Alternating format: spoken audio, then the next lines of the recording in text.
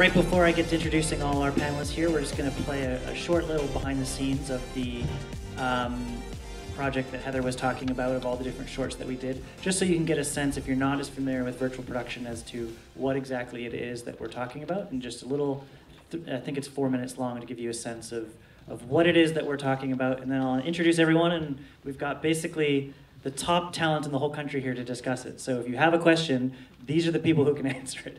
Um, so let's roll that behind the scenes, and then we'll dive in.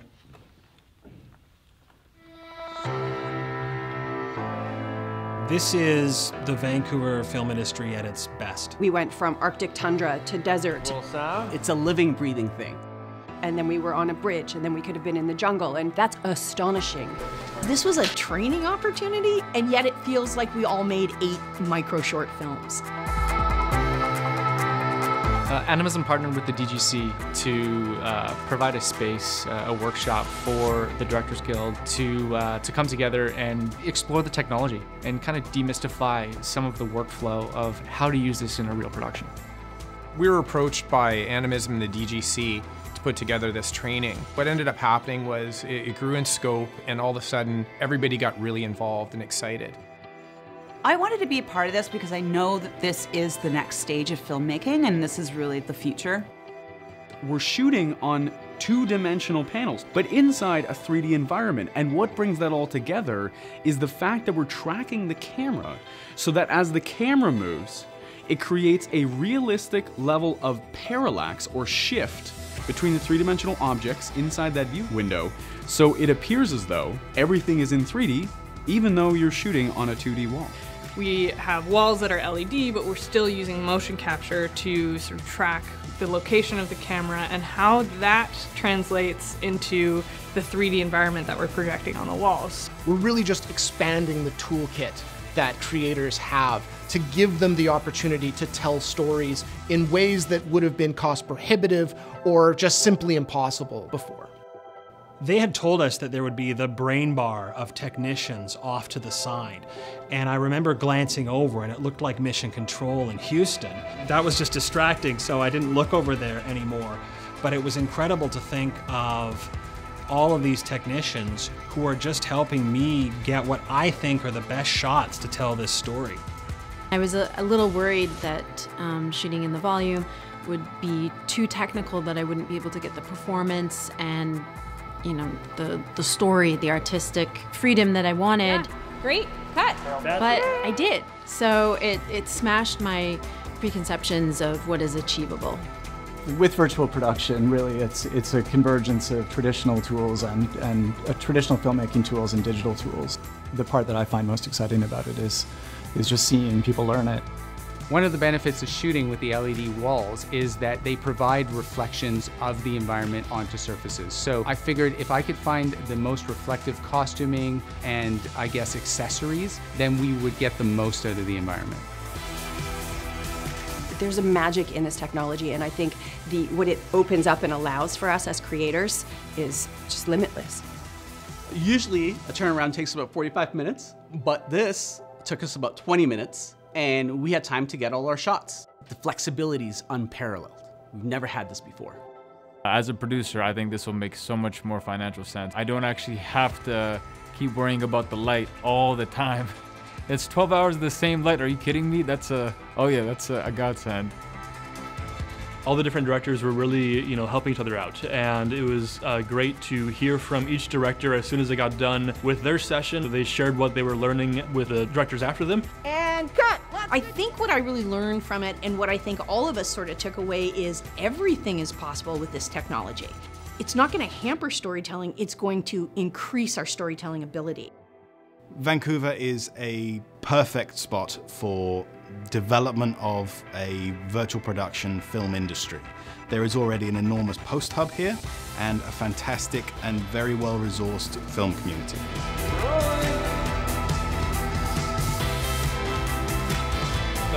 Right now, I'd say we're, we're ready. We're mini Mandalorians now. If you want to continue working in film, I think this is the technology to learn. It's not new tech to us anymore. Now it's just great tech. just the things that we came up with with not very much money because we were working together toward the goal of making this community stronger and more employable because we understand a technology that is on the vanguard of the future. And uh, I just am so excited that I got to be a part of that.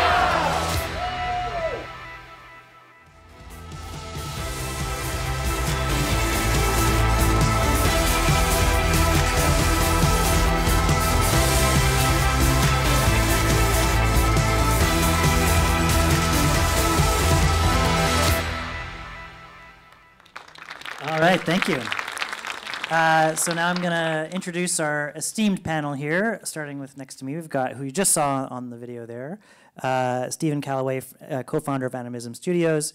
Uh, he co-founded the studio in 2017 and has had an incredible focus on developing the business and strategic growth of the company. And his team launched a production studio under the Animism banner that's helped with all sorts of full production pipeline stuff, including the uh, virtual production event that we did uh, last year in BC. Uh, so thank you, Stephen. Next to him, we got Matt Middleton, uh, production designer extraordinaire out of Toronto.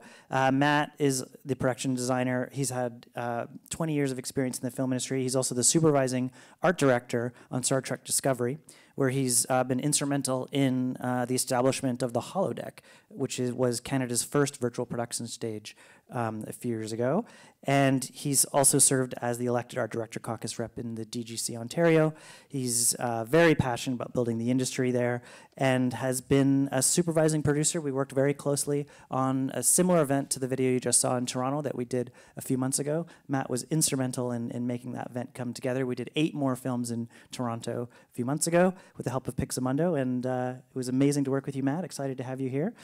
Um, and speaking of uh, Pixomondo, We've got uh, Gladys Tong next to Matt here. Gladys is the virtual production supervisor for Pixomondo's stage in Vancouver, um, which uh, for a moment, I don't know if it still is, but it was the world's largest virtual volume, uh, which was pretty incredible. So she's in charge of that one.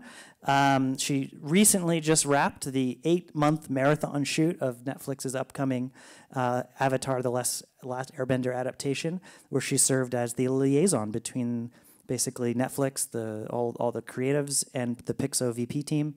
She's also the founder and president of G Creative Productions, a Vancouver-based company specializing in on-set interactive motion graphics, probably the company. uh, if, if you ever need that, she's who you talk to. Um, and so she's an expert in this type of stuff. We're super excited to have you, Gladys. Uh, then we've got Steve next to her. Um, Steve Read, uh, he is the head of studio for Versatile Media uh, here in Vancouver. Steve has been in the film industry for a very long time, since 1997. Uh, in 2008, he co-founded One Animation, which became the leading um, animation studio, one of them at least, in Singapore, doing lots of CGI TV and, and films.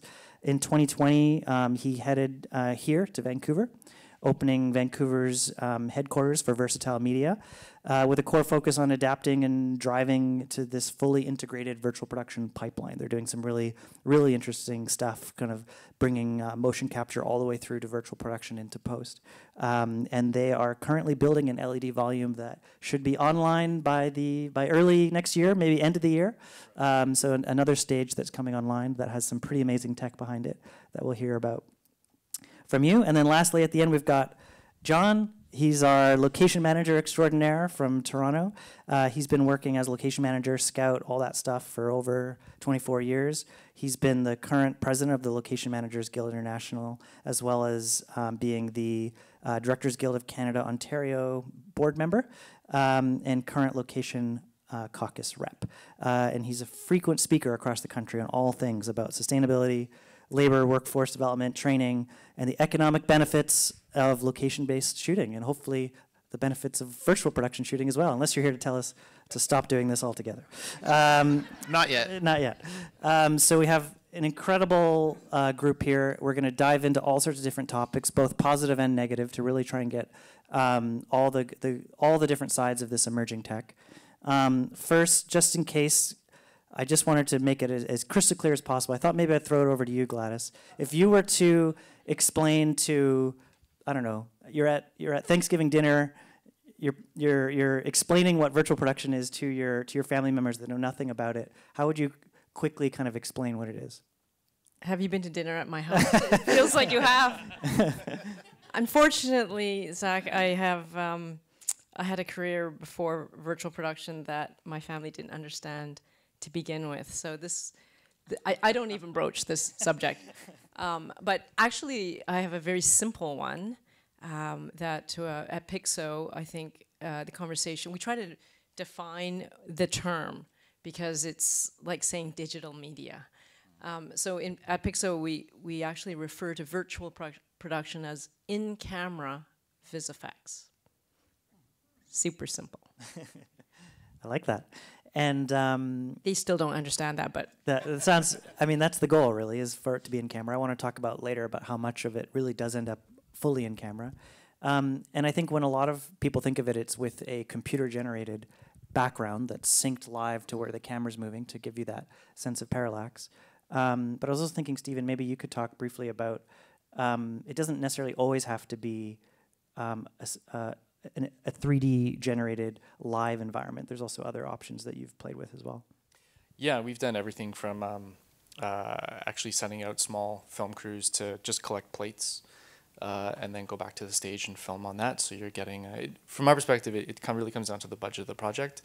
Once you get into full 3D builds and motion capture, the budgets are can be quite prohibitive to a lot of places. So depending on the budget, we've, we've gone with 3D environments, we've gone with shooting plates, um, we with set angles, we've gone out with 3D cameras, so at least we can, or 360 cameras, so at least we can, you know, have the full environment and be able to choose our angles, but we're still using footage uh, as opposed. And if you're using footage, what are the restrictions to how you shoot it? to how we shoot it? Um, that's probably a question for the camera guys. Uh, but I mean, you can't move the camera on the stage, if really, to some degree. Yeah, yeah. You're you're talking about a more traditional setup. You're not going to get any parallax in the in the uh, in the video at all. So it's it's kind of more you're setting, you're choosing your angles that you're going to shoot when you're out on location, and you're just using the stage as a way to kind of like like it was said in the video. You can keep your you can keep the light for 12 hours. You can control the setting. You can you know, control the time that you have the stage and you don't have to worry so much about locations and security and all that kind of stuff. So um, we've done a hybrid of that. Um, but to touch on virtual production as well in different capacities we've used it for, um, we've also used it on location for, um, for if there is going to be 3D creatures involved. Uh, for just on an iPad or an iPhone, you can use that to to kind of map out where the creatures are going to be and what the scale looks like so that you can kind of frame your shots better. So you're still even shooting on location, but still using virtual production in a normal production workflow. So you mean seeing the creature through the camera where it will be later? Is that what you mean? Uh, basically, as you're as you're blocking out the shot, you can you know if you're setting up your shot and you're you're blocking out your actors, um, you can have like an iPad or something that can overlay your creature on it so you can you can immediately decide oh you know what like we need to change the lens here because once we get this into post uh, our creature is going to be way bigger than we thought and it's going to be out of frame so um, so like we we use that and as as virtual production as well um, in different ways to to kind of in a way very similar like you're bringing the visual effects forward instead of shooting everything and then just saying well let's see what it looks like once the visual effects team gets it um, so we're, we're bringing it into the to the pre-planning stage and and uh, getting it out there and, and figuring out where you're going to shoot before you even get your talent there. Awesome. I'm going to throw over to you, Steve. Uh, give me a sense of what what are the benefits of this type of tech? Like, what are the best use scenarios for it? What what are the things that you know this would be a perfect fit for? It's they seem very simple questions, but they're really not. I actually think your hardest question to Gladys was what is. I mean, I think that's something yeah. that you speak to anybody in the industry, you'll get a different answer. Yeah. Um, look, I think there's, I mean, you know, as a company, we Versatile has really fully adopted virtual production as a workflow. We try and drop anything that's CPU driven or isn't coming off of a GPU the core. What's uh, just for the people here? What is a GPU? Uh, I'm, I'm going to keep stopping the conversation to to get definitions. Yeah. Um, it's a component inside your computer that drives the visual graphics that you look at when you look at a computer monitor or a, a giant LED screen or whatever it is. Um, St stands for graphics processing unit. Is yes, that right? it is. Yes, yes. there you go. Yeah. Actually, that would have been an easier answer. um, but I think it's, you know, I, I, think over the, the goal or some of the mandates that we try and put forward is really trying to give creativity back to the creative drivers on a production. So your directors, your um, ADs, your grips, your, you know, what can we give them back that enables them to see Final Pixel when filming, if you can achieve Final Pixel when filming? Uh, and I think a lot of the technology we develop is to try and provide that, which I think over the past sort of 30 years with green screen shooting and sort of, you know, film may be shooting for four or five months, but it might spend a year and a half in a VFX house.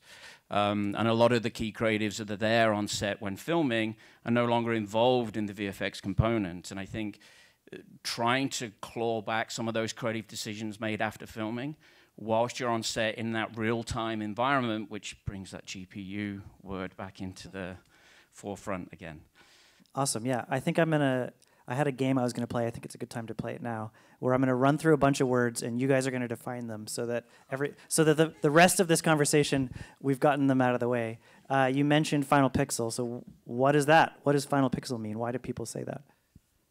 Um, Final Pixel for for my stance is basically the ability to film without having to do anything other than maybe editorial and color grading to finalize your image. So you're not gonna have to add more CG later. It's it's basically captured in camera. Correct. So when people say Final Pixel, they mean this visual effect is final. Basically, we're capturing it as it is. Um, all right, who's gonna? Maybe John. I'll go over to you. If any of these are when when people say brain bar, what are they referring to when they say brain I bar? do pretty much presume it's all those people sitting off to the side on the couch. Yeah. Yeah. Yeah. Uh, there's a, a big tent. Obviously, sometimes maybe Gladys, you can fill in the brain bar. What, what's what's going on in the brain bar? It's a very catchy term, but there is another term uh, that is called volume control, which um, has more of a NASA feel, I think, to it. All of the above. I, it, this is actually what you're talking about is a very good, uh, I think, discussion because virtual production, it's been hyped so much. I mean, it's been a few years uh, lately, uh, especially during pandemic, and everyone's reading all the uh, on their phones and iPads, reading all about this new technology. The terminology is really, really important. Um, it's like a computer, computer speak. I'm sure you've met technicians and computer people who have thrown a whole bunch of acronyms at you, and you're just you're just buried in tech speak. One of the things that I'm very passionate about is to demystify and simplify. Um, and that doesn't mean it's not sophisticated and uh, it's actually quite complicated. But I think I have a philosophy the, that uh, I, I aspire to, which is the more you know, the simpler it should be. Um, because you have the language, you have the knowledge, and you have the experience to be able to communicate very complex ideas in a very, you know, digestible, understandable, comprehensible way. And I don't find that to be the case in the industry, unfortunately. And I don't know if it's just my more simplified way of thinking of life. I don't want to lose my audience. And um, in fact, I want to be more inclusive. And these are terms that people talk about, but when they talk at you and they over explain and and they don't answer your questions adequately because they don't really understand it themselves. And I'm guilty of but I'm I'm much simpler. I'll just say I don't know. And uh, that you won't find that a lot in emerging technology, and I've seen this over 20 years. So I do think it's an important uh, discussion to start um, because I don't, I haven't found a lot of. This is a great forum to have that discussion, especially to locations, because it's all about locations. If if it's not visual effects, it's about locations. Yeah. Uh, well, thank you. So, who's in the brain bar though? Who's sitting there? Who are those people in there? Do you have any? who- What would you say they are? Yeah, Steve, do you want to? Yeah. Oh, I I just want to mention 50% of our Pixomondo brain bar are women. Just want to put it out there. Yeah, so your your brain bar is gonna uh, you're gonna have your screen techs that are turning on the screens, uh, doing any repairs that need to be done. You're gonna have your Unreal artists that are going to control what's on the screen. Uh, you might have, you know, a director calling out moving pieces of the environment or or changing lights or grading things. So so you basically have uh, artists, uh, Unreal artists on the side that can do those things in real time as And what's Unreal? Unreal is a game engine uh, that's built by Epic Games. Um, so this is kind of the, the, that's been the big driving force in, in this technology uh, lately is this is a game engine that's used to running real time. And so by, you know, in traditional visual effects, we render things for hours and hours and hours per frame. Um, and this, this game engine allows it to basically run 24 times a second. 24 times a second. Um, maybe Matt, you can take this one. Sure. What is blending or a blend day? You hear that a lot. Blending, Yes. blend day. Uh, when you have a live background and you want your actors to interact with something that's physical and real, you have to marry up those two halves. And if you don't do that effectively, you break the illusion. It has to look seamless, integrated, all the way from the foreground through to the background. And that requires matching those two perfectly. And there's a whole range of techniques that you use. Uh, there can be physical techniques of matching the paint, matching the proportion of the items, making sure that physically built things are scanned and brought in as digital versions. And if you have, let's say, a road that goes into the wall and continues in the wall, it can be very tricky to have the color tone between a real pigment of paint being illuminated by real lights and the digital representation of that, the pixels on the screen, hit the perfect match. So uh, it's a lighting thing. On the digital side, there's special tools that are used to essentially Photoshop and color correct specific regions in there in order to uh, make that be perfectly seamless so that the audience is left guessing where the real ends and the unreal begins. And it's a really can be a time-consuming thing. And a new thing that will appear on your schedules is something called a blend day, where literally the, a whole day before the, the crew even arrives at the stage, where they're just trying to dial in that that scene between the unreal and the real. Um, and so you can start to see that on the schedules of, of shoots now. This new type of day that's that's happening. Um, I think last one I want to just touch on because it comes up maybe uh, either Steve or Gladys. Um, the frustrum. I think that's a that's a word that a lot of people get really thrown by. Yeah, that one is. Uh, I, I want to go back to brain bar. I just Okay, want to say it. it's a terrible term. Does it mean that everybody else is not contributing their brains? It's Yeah. Just, anyway, I just wanted to mention that. I love that. Um, frustum is just simply a rectangle on the wall that represents the perspective of the camera. So you have a tracker on the camera, and it just tracks where in the physical space the camera is. And when it points, and sometimes you can have two of them, because you have two cameras shooting, you'll have two rectangles. I know I'm sounding really simple, but I really do want to make it a balance between terminology that can have a very, very complicated um, explanation, but it's really just the perspective in the virtual, because it's the gaming engine that's reflected on the wall. So it's just tracking this camera, the perspective, you get a rectangle, so it's, the rectangles are frustums. Yeah, it's basically what the camera can see. Um, awesome. Well, we're going to dive into a bunch of different topics. I feel like we've got a good base of what it is and, and the words that, that you guys will probably use. I'll stop you again if you say any other ones. Um, Matt, I was thinking you, you sit, I think, in a really, really interesting place in this whole conversation because with virtual production, a huge amount of stuff that would happen in post, even to some degree outside the purview of the art department, is now being brought in uh, into prep. And why don't you give a sense, and we'll go around the room and talk more about it, but what is sort of the pipeline from script and idea to shooting on the stage, and how does the how does the art department fit into that, and, and all the different elements of, of what you guys, but like from script to shooting, like what how is that different than it was before? I don't think it has changed much, to be honest. Uh, there's one very distinct change, and that's the uh, the drawing of the VFX team into the pre-stage, into the prep. And uh, on a, on a complex creative project, um, like I have the fortune to be on Star Trek Discovery, and we have very high concepts. The uh, the stories come to us from the writing team. We have an early discussion where we get a story arc, we get a season arc, uh, and then there's uh, a beat sheet that we'll get early on. And this allows us to be working months, months in advance, uh, usually up to five or six months, sometimes seven months in advance of the actual shooting. And at that point, we start to have discussions, concept meetings between our, our, uh, our writers. Our, we have our head writer is Michelle Paradise with uh, Paramount in uh, down in LA, and the production designer Doug McCullough will have uh, conversations with her and with Olatunde, and they will discuss what it is that the story uh, needs visually and creatively.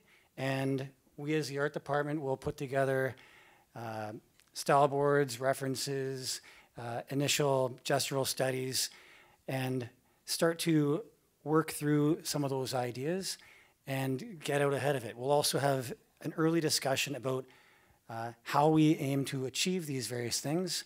If it's on our standing sets, it's pretty obvious we're going to use those things. If there's anything new that's being introduced, we'll probably have to build that new. Sometimes we have uh, whole new sets that are being built, and depending on the scope of those, they, they have a very long timeline. So we're used to having a long timeline to build. With the addition of uh, virtual production, specifically LED volume uh, work, because virtual production is really this big umbrella. With the introduction of that, uh, we are adding one more uh, end that we're trying to get to, but it's the same process. We're having those discussions. We're talking about how we're going to do it, what it looks like, how big is it, uh, figuring out the references. And then as soon as we get to a point where our production designer and our showrunner and uh, our producing director have come to an agreement and have a creative kernel that they believe is, is the thing that they're trying to achieve, we immediately have a conversation with our counterparts at Pixo, with their virtual production team and the uh, virtual art department that they have at Pixo, and we start to workshop. And what's the virtual art department? Oh, or the vir- The virtual art department, I mean, it's working with virtual tools to create things and developing sets, settings, I should say, environments specifically for LED volume production. So uh, obviously the people in VFX are highly talented artists, technicians, creators themselves. And I guess you have to kind of back up and realize that initially all the work was happening in uh, traditional Hollywood, Hollywood at its heyday, on the soundstage or on the backlot. And they were using backings. They were using glass, glass uh, painted, painted mats. They were doing all these tricks and, and using these tricks of the trade that were evolving. And it was all happening for capture on the day of shooting. That was the goal. Or they would have, you know, a little splinter unit that would pick up these uh, glass mat shots and things like that. But once the uh, the VFX paradigm of using a green screen or blue screen entered the picture, there was additional time for that, maybe you know several weeks after to months after, and as the scope of that increased, it became these year-long timelines of, of uh, post-production that essentially there was an unnatural schism between those artists and tech and technicians and creators that uh, brought all that work into post-production and separated it from the work happening on the set. And I think that that schism, I mean, uh, it allows it allows fantastic work to be done. So you can't discount it. You can't say, you know, working with a green screen is bad because we can see these are amazing things that are produced. And what we can do now with the uh, with the volumes is you can kind of claw that work back onto the stage where you have that creative dynamic in real time with the directors, the writers, the actors, all the key technicians, the director of photography, all working together in the volume together. Yeah. And you can create those magical moments and, and adjustments. And everyone knows who's been on a set.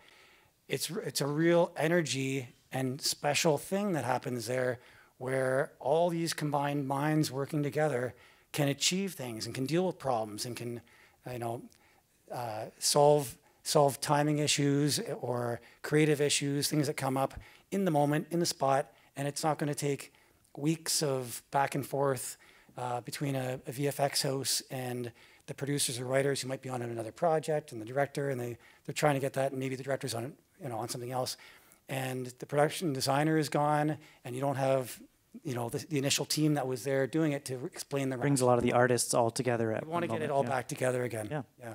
Awesome. Well, uh, John, I wanted to talk to you about this uh, locations hellscape that we're looking at now. Of you know, you've rep a lot of the uh, location managers across the country. A lot of this is happening in Ontario in your in your home province. What has been your experience of sort of is this the end of location management as we know it, or is there what is the new role for the location manager in all of this? Simply put, no. I mean, th- this is 20 years ago when green screen was going to be the death of us all.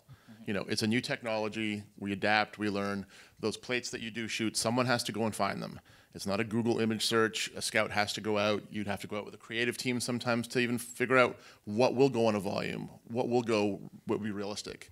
I mean, what Matt said is virtual production is such an amorphous word. I mean, some of what I do is, is virtual as well. I'll go out with a drone and scout and, and map it all, and we'll send about wire models back to save production from having to go out there. But there's still always going to be a need for the people in this room to go out and actually find what needs to go on the screen. Awesome.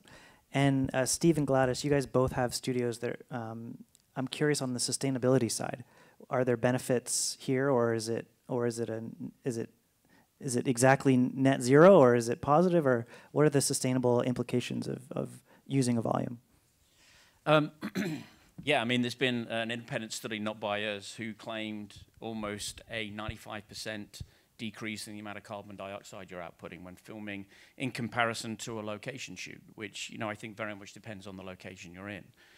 Um, in particular, if you're going out to the wilderness and you've got to bring diesels and, and generators and people and hotels and food and you're there for some time, it can be quite damaging to those to that environment. Um, that said, you know, we're building a ginormous screen which takes tons of electricity. I mean, we're upgrading our power into the building to 3.5 megawatts, which is a kind of mental amount of, of power to go into a building. um, we're lucky in Vancouver that it's hydropower, which sort of also helps negate. But um, the general consensus from what we've been seeing on uh, is that it is can be incredibly green compared to alternative methods. Also down to wastage. I mean, when you're working on an LED volume, you tend to build smaller sets. Um, and just the wastage you get when, when building ginormous sets in sound stages and the stuff you're throwing away, um, it, ca- it definitely helps in those areas too. So transportation and flights and all Yeah. of those included. Yeah, because you tend to, when you're doing virtual production, to some degree only build the stuff the actors touch or is right at the bottom, base of their feet, um, rather than everything that you can see. Um, Gladys, you just came from an eight month shoot in a volume, so is that true what he just said? Did- Was there a, a big savings from a sustainable uh, perspective? The shoot uh, just ended, so it's still very fresh and. Um, The pain. Yeah. to be honest, I, I don't think the data is in, and judging from the previous panel's um, discussion, I, I would be very reticent to do any comparison. And, and I wish, I mean, there is a dream. I could, I wish I could tell you that that is, it's much better, it's much greener, it's, but uh, I think uh, it's a bit naive to, to assume that because uh, it's actually quite com- complicated. Sustainability, and uh, I think the previous discussion was a was a really great highlight of that exact point. Um, so I would not make that conclusion, but I agree with what Stephen said, and that, and I hope all that data that we can actually gather the data. I think in the previous discussion about measuring carbon in a different way is is going to give us better, more accurate data. I, am a little cynical. Uh, I think the data is very skewed. It's a feel good kind of, um, you know, we want to feel good about it when we're on the sets, but I think uh, the gentleman in the audience brought up the, I think the recycling problem, like something so simple, right? So um, I think the jury's out, to be to be perfectly honest. I, I think it's too soon. Yeah, I mean, soon. there's a fundamental, not to be the naysayer, but technology needs to be replaced and often, and that leads that, that does lead to waste. Totally, yeah. I mean, who's got a new iPhone? What'd you do with your old one?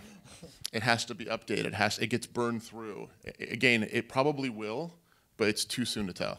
Yeah, the sc- I, I feel like um, the screen, this panels that are used for the screens right now, it's sort of like when digital cameras were f- first coming out, and like every six months there was one that was so much better than the last one that all the ones that everyone was excited about that they had six months ago are, are now uh, no good. But, um, but yeah, it's very much in this sort of rocket ship mode.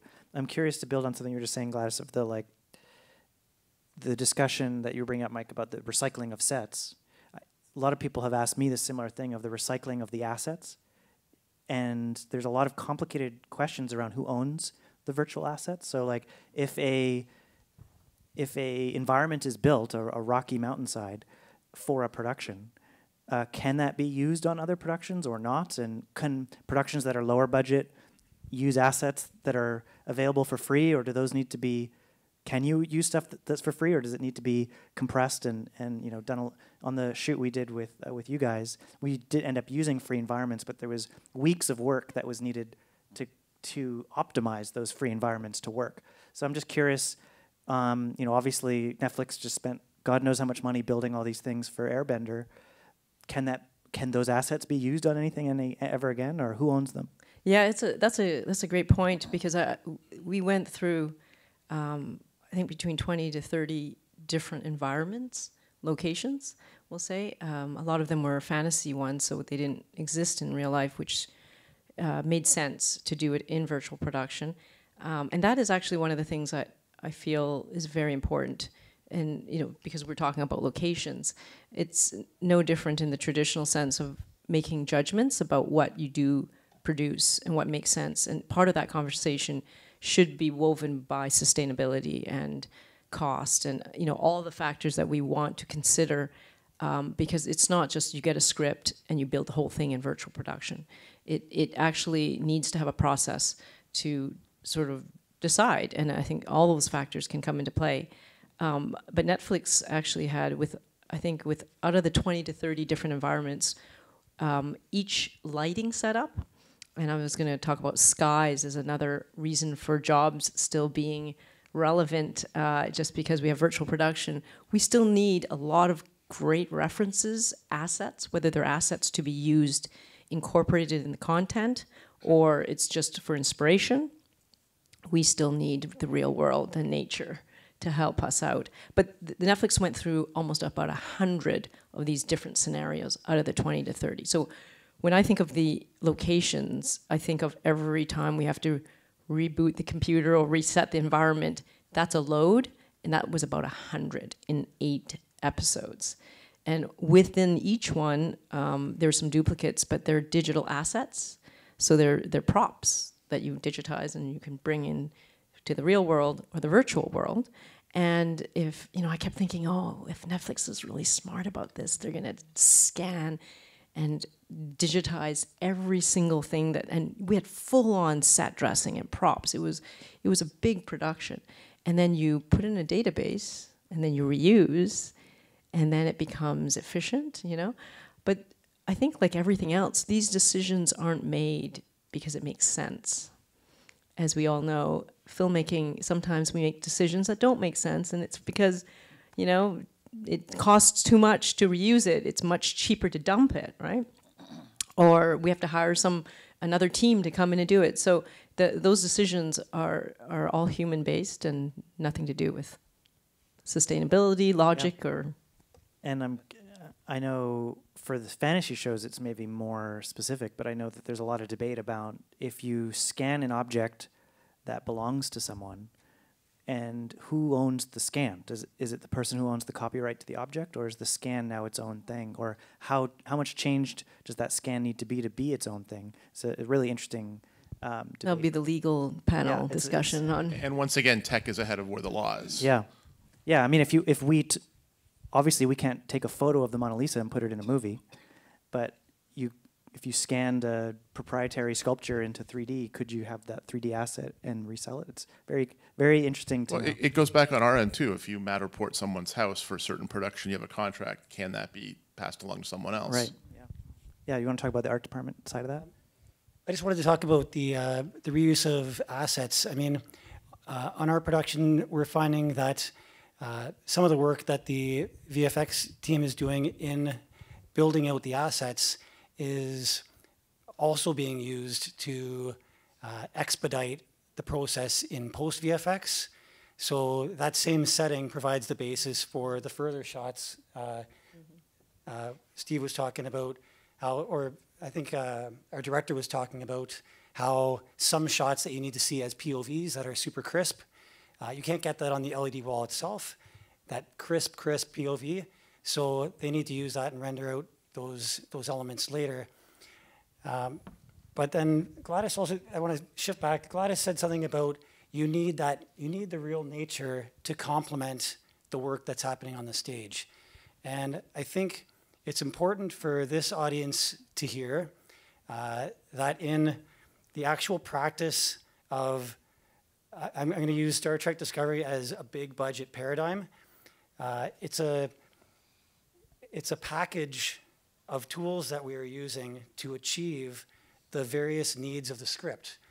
Uh, we're using stage sets in studio primarily because that is the way to get the best page count with controlled conditions and you can build those sets and you can come back to them again and again and again and on episodic series you need to have that home base where you can get guaranteed page count and uh, get a certain portion of your of your script in camera efficiently every time then we have the new elements for our episode which can either be a new built set adding to our set, adding to our uh, our suite of sets, and those can those can be only for a single episode or multiple episodes.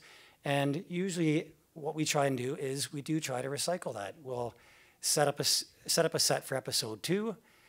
We'll take two episodes time to swing it into something else, and then you'll see it in episode five. We'll take two more episodes to swing it, and that work is happening while we're shooting on the other sets, or on location, or on the volume. So, uh, speaking of the locations, you need scope. You need you can't be just in these stage sets because you have limited st stage space. We have some of the biggest stages. We try to go big, but it gets cramped on a ship, and the away teams need to go down to alien locations, and they need to roam around and get into trouble and meet meet the races and intervene if it's justified or that kind of thing. And they always throw away the prime directive every time. Every time, It's every like- time. There's I haven't seen an episode where they don't throw away Yeah, the they prime discuss directive. it, and then ultimately, you know, that, This has like a hundred different ex- exceptions. And you were saying before that there's like sort of about one volume per episode because you need time to. You can't be on the volume all for an entire episode because it needs a lot of prep work yes, within a block. Yes. So I'll, I'll just finish talking about the locations. We go, and since season one, we go regularly out on away missions to real world locations. And sometimes it's just the raw beauty that we find there. And sometimes, most of the time, I would say, we augment it with other alien elements that we bring there. We take it and we get the 80% of the natural beauty that's available. And then we bring in, you know, a, a number of large pieces to make it alien, alien flora, fauna.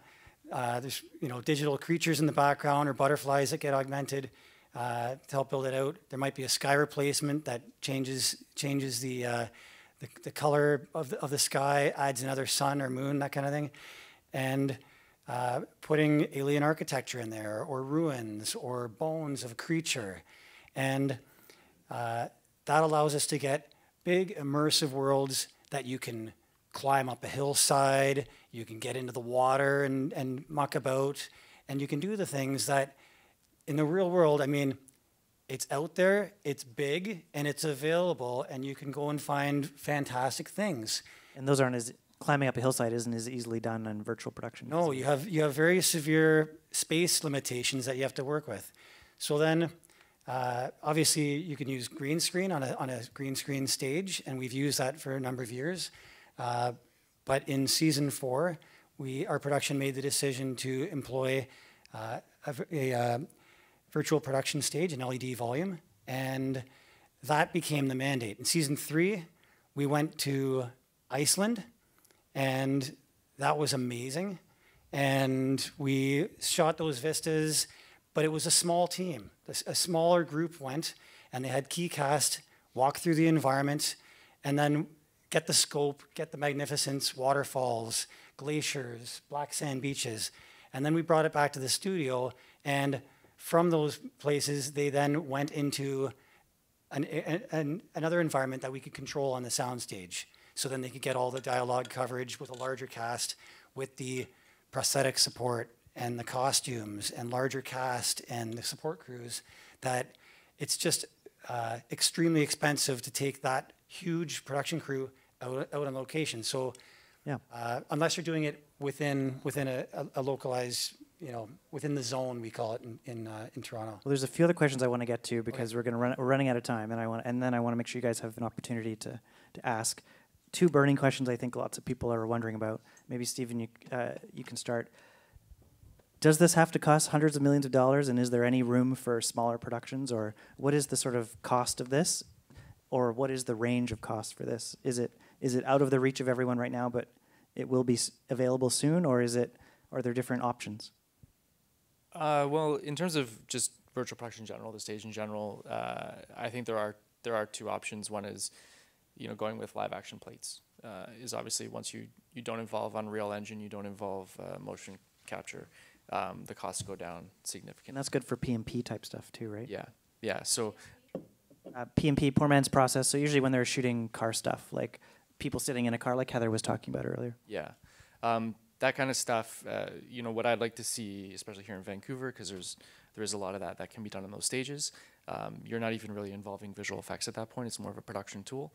Um, I, I think there's there's a way forward here where we can start to get that as more part of a just a essential part of every project. Um, wh- why go to a visual effects house for driving comp shots when you can just put the footage up on the screens and shoot it? It, it doesn't make any sense, and even from our perspective, from a VFX company's perspective, driving comps are, are not where we think the money Right. can be spent. Yeah. Um, so I, I- I would love to see that stuff take off more, and I think that is a good place to go for a lot of projects.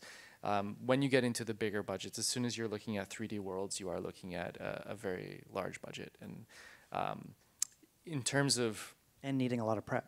a lot of prep. And in terms of that range, um, you know, again, we, we still do it anyways. If you if you come to us with a green screen, uh, and we have to build the environment in post, uh, it's still going to be very expensive.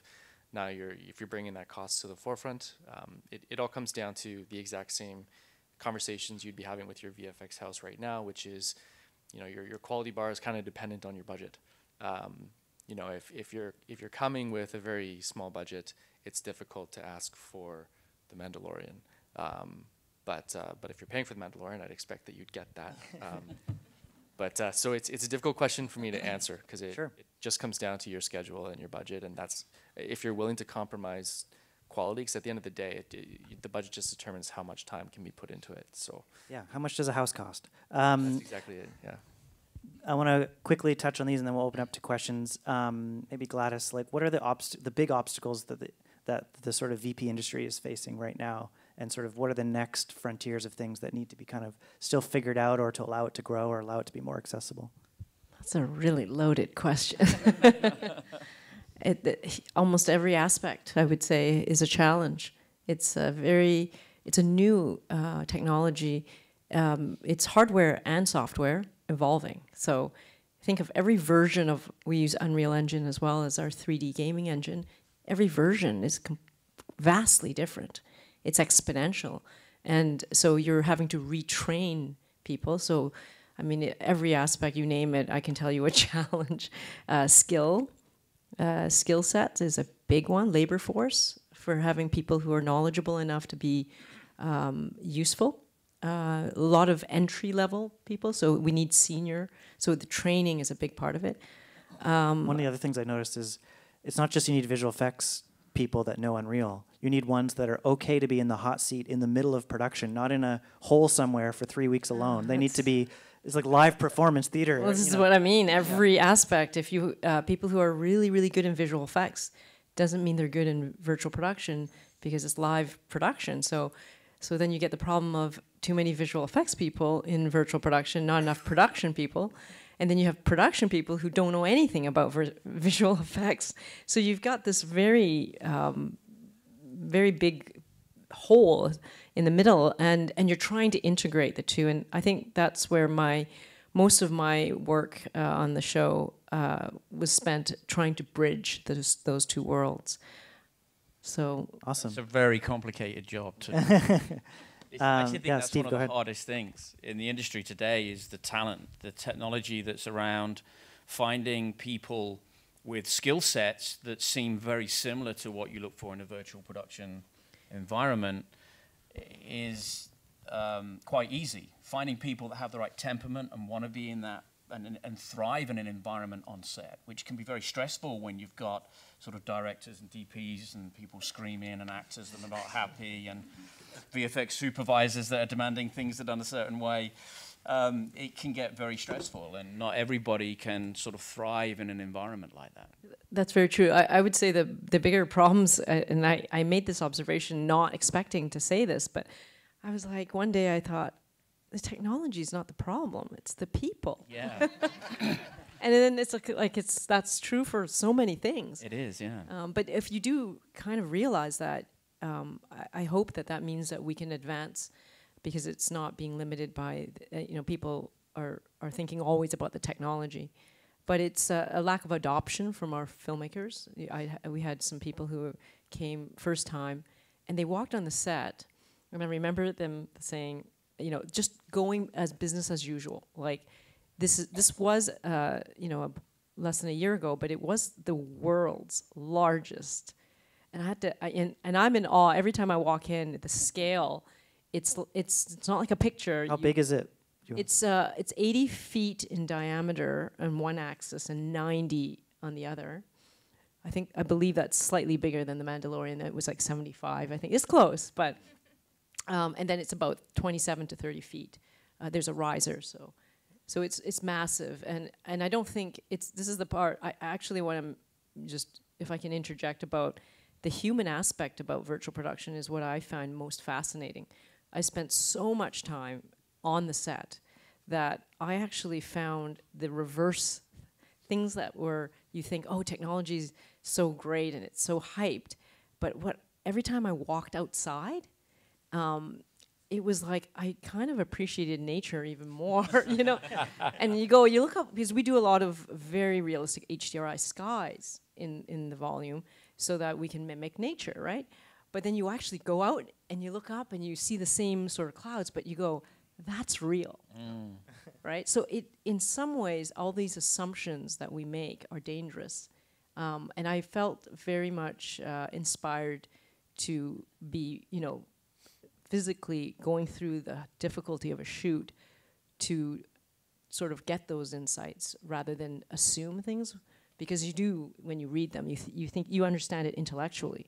But there's a lot of things that happen when you're actually going through it that I think surprises yourself. All right, Stephen, you want to say one thing? Yeah, we'll go I to just want questions. to, uh, jump on that and say, you know, from a, I think most of us in visual effects, uh, we don't have the skill sets to deal with clients. Um, that's that's just not something we do. Um, and uh, and I will say that you know, for most of us being on set every day, uh, so, some people have never been on set. Uh, I'd say the vast majority of VFXers have never been on set, and uh, and so I think you know, from from the production side of things.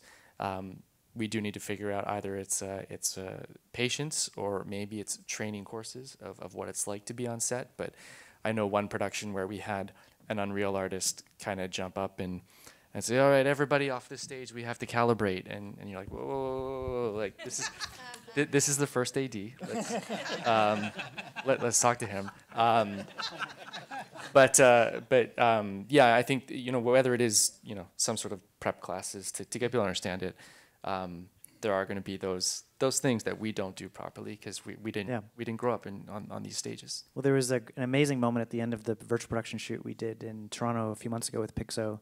The um, one of the Unreal artists was uh, had come out of the brain bar after four environments, four short films shot in, in you know, and like that's insanely fast for this type of stuff. Usually it's like one environment a week, and this was four in a day, and it is like he just had just done a touchdown at the Super Bowl. He was just jumping up and down from like the, the live performance of having blended all those environments, created all that crazy stuff, and done it with all all within the time was pretty amazing. I'm just going to quickly because we're running out of time. I want to get into some questions. Um, so please throw up your hands and we'll dive in. Yes, right here. I have a question. The, um, back to this whole, where do we stand as location management? I noticed that the answers seem to be focused on the scouting side. You know, we all know that our job is, the, the first half is creative, the second half is logistical. Um, you made the point, uh, Steve, about, you know, not having to take all those people out into the world or smaller groups. I know when you're doing scans, there's maybe five or six people versus one hundred and fifty people. So there is a, c- there is a thought about what happens to the management side of the job as opposed to just the scouting side. Mm-hmm. And I'm gonna direct this to you, because am I understanding that you spent eight months in a full volume? You see, so. They did let me out. But that- That's my point, that is an entire film or series in this room, right? So, I- I understand yeah. how I- much of that was really in the world.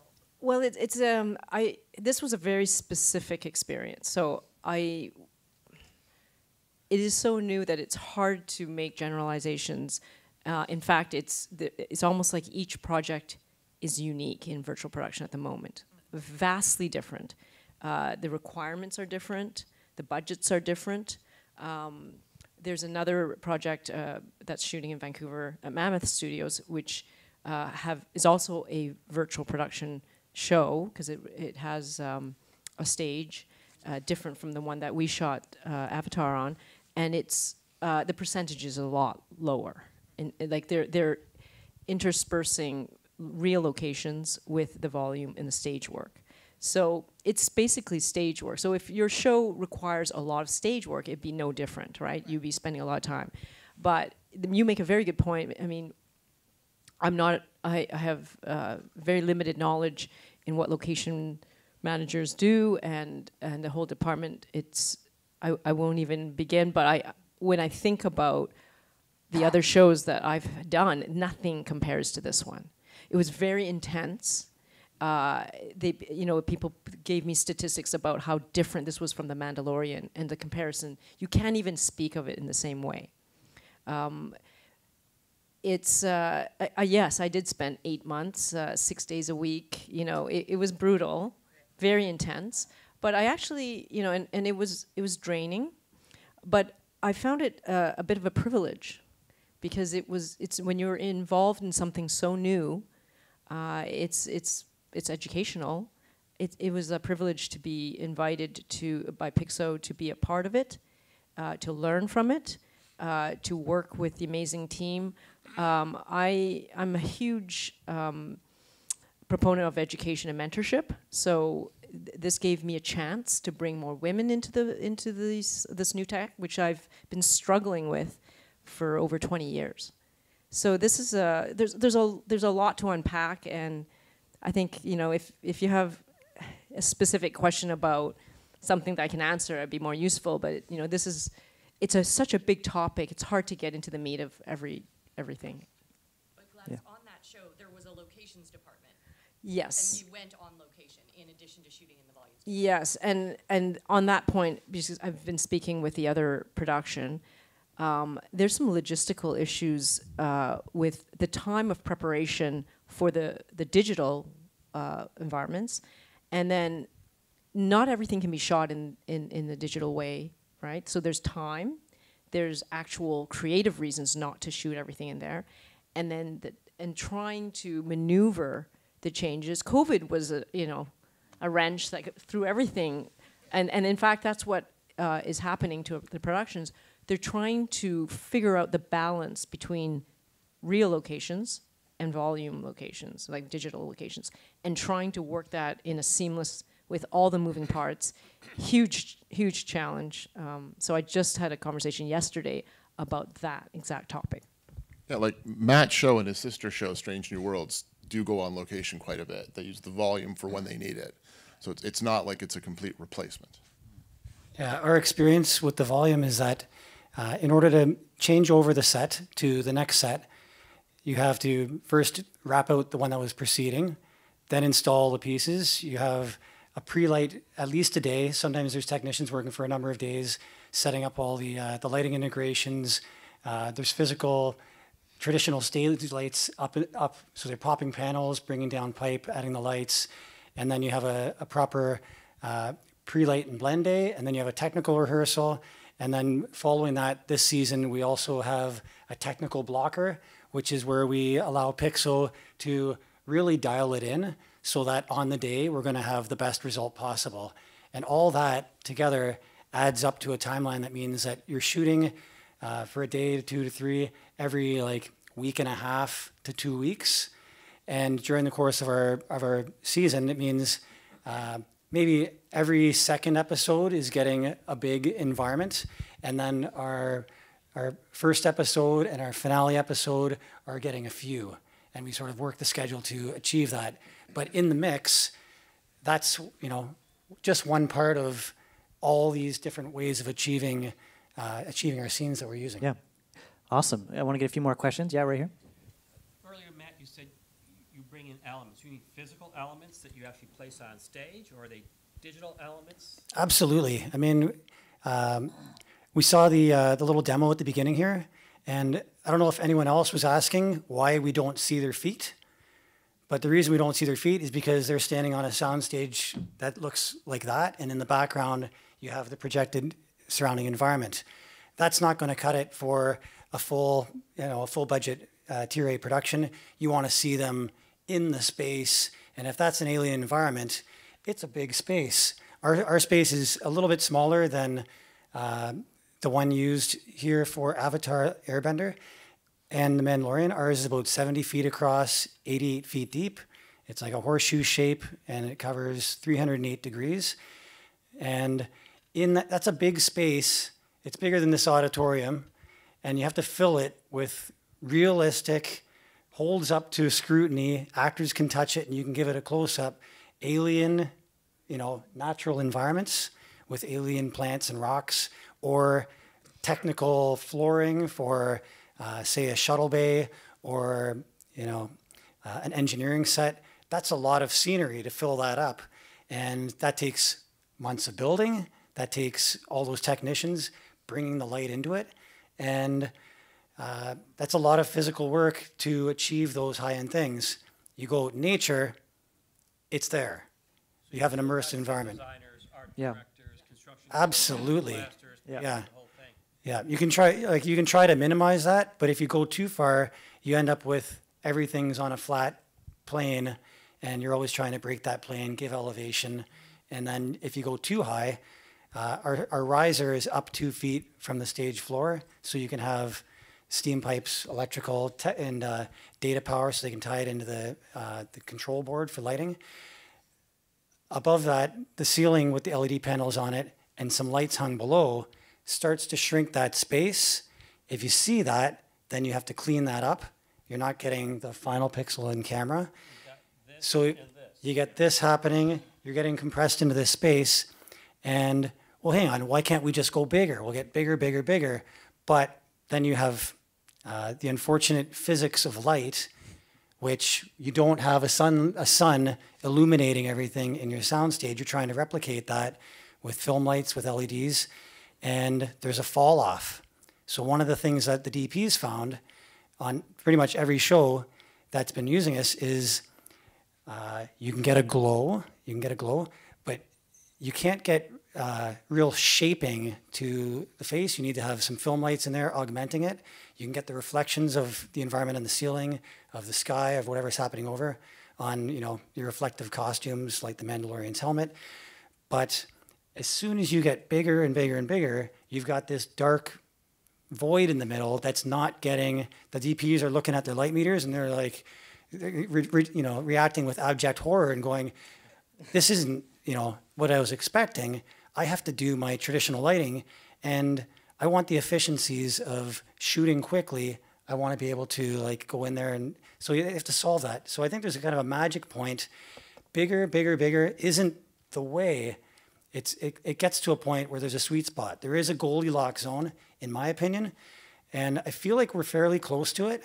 We feel like we could use bigger room for staging, but it's compact enough that you can move quickly and then, uh, you know, reset your scene. They can walk for a bit. then you rejig a bit, they walk a little further, do things like that, or play with the camera angles. Yeah, there's also a lot of magic to the physical elements that are built in helping with the illusion. In the in the one that we did, we did uh, we were underneath the Eiffel Tower in Paris, and we we brought in full scale um, street lamps.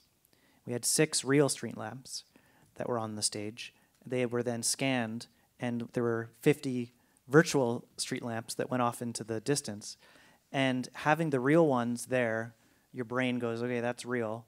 And then seeing the virtual ones repeated, you, you, your brain has trouble going real, real, real, real, real. Wait, at some point those were fake, but I can't tell. Even when you're standing there, sometimes you can't tell when the switch is. So in the design of the physical elements, looking for things that repeat is a really key way in making the illusion work. We, we had we did a, a castle and we had torches that were repeating for the same effect. There's also this amazing thing that Matt talks about where they do they they build symmetrical sets so that when you do the French reverse because you only have a 270 or whatever that you don't actually like for example that Paris set we had our six practical street lamps which didn't have to move if we were looking that way or this way and so then you just rotate the environment 180 degrees, and your physical things are in the right spot for looking the other way.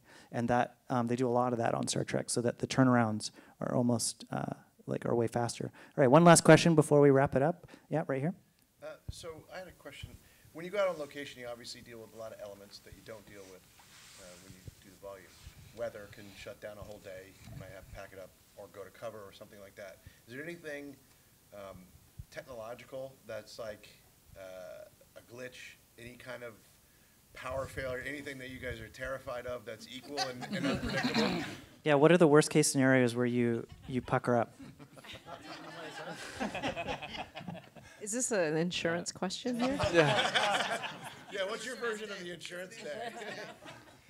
Um, yeah, I mean, I can only speak from personal experience. I'm not sure how things run um, with uh, Steve with your facility, but um, yeah, I would say a, a lot of it is Unreal is still a software, and software can crash, and uh, and so I think, you know, it's a it's a very complex setup with how many processors are being used to get these images up on screen, and sometimes they just hang.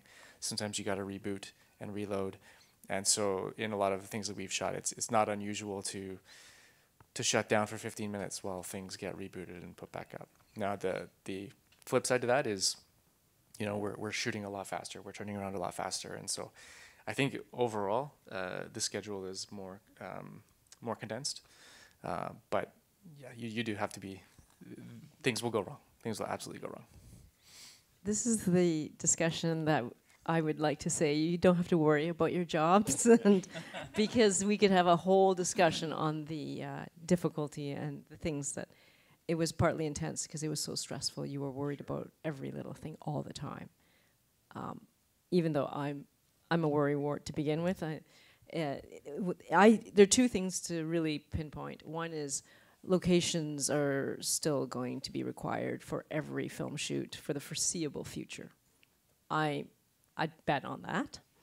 Um, and that's coming from, you know, a techie perspective and, and a bias even. And the second one is I think we all need to, um, you know, we're having these conversations because we, we need to kind of evolve ourselves, right? We need to continue to uh, keep up with what is happening in the world, whether it's technological or sustainability or environmental or anything. And I think it's, um, I, I just want it to be a positive message that this is not really about selling you guys virtual production. Um, it's an interesting technology. Hopefully, it's educational. If you didn't hear about any of the stuff before, you're coming away with a little more insight into it. Uh, but it's a very human nature to be feel insecure about our stability, our our jobs, our future. Um, I think I can say for, and unless someone disagrees on this panel, um, I want to reassure you that we are still needing everything that we know we need. I think the question should be how are we adapting to the new technology? How are we making it better for ourselves? Um, not about the insecurity of losing, but um, the, quite the opposite. Um, and I, I hope that's the purpose of these discussions.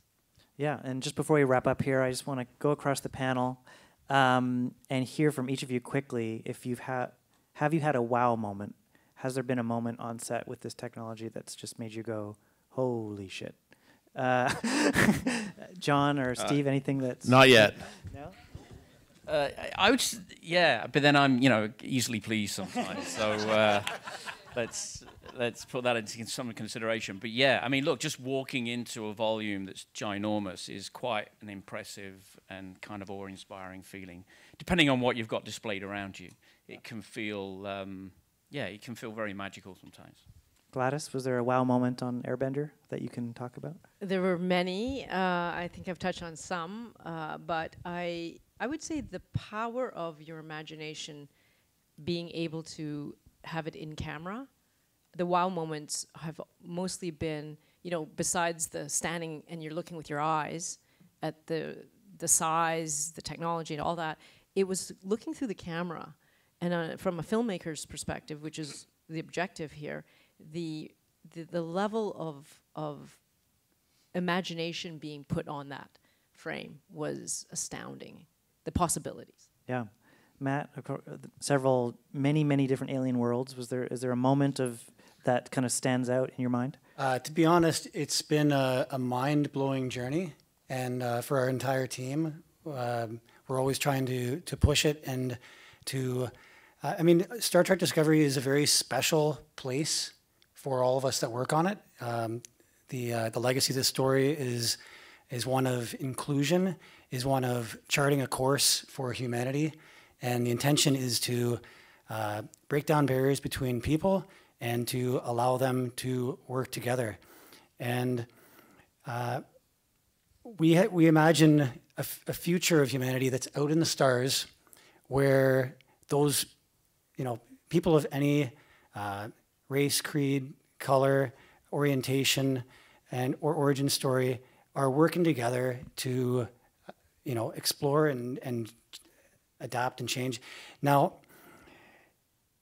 when we did an exercise earlier this season where we had somebody on a spaceship traveling in space and we saw that all in camera and it looked real in the camera that we were actually filming somebody on a space on a spaceship in space and you're going that that is happening right now on this stage and like i mean it, it's it, it's kind of a we, Yeah. we did it we're like You got we're to feel. you got to feel warp really in speed. space Yeah, Yeah. that's awesome. S- Stephen, how about you? Any wow moments? Uh, yeah, one of the early tests that we did with the volume was just a car, car shot, and uh, so I jumped behind the wheel. We had 360 footage of driving down the street for a few minutes, and um, I got behind the wheel of the car, and I could see the car behind me in the rearview mirror, and the road was turning, and so when we looked at the footage later, uh, I was actually adjusting and checking my mirrors and looking out the side mirrors. And as someone who watches a lot of movies and gets really uncomfortable when people drive like this, and you're like, look at look at the road. You have to look at the road. Um, I think like it, it just everything felt more natural, and so I, I thought like that element of virtual production and you know you, you have the real world to react to, and if actors have a real environment to look out to and have specific points they can focus on as opposed to a green screen you're trying to imagine, um, the performances just become so much better. Yeah, in the event we did in Toronto, there was they uh, the Pixo team had made it so that the castle exploded into flame when the two lovers touched, and the actors could react and see. They could they didn't need a cue for when the castle was exploding because they could see and feel the light around them, which was pretty amazing to see. All right, well, thank you. These guests will be outside. You can ask them more questions. Thank you so much, and uh, look forward to uh, more conversations. Thanks.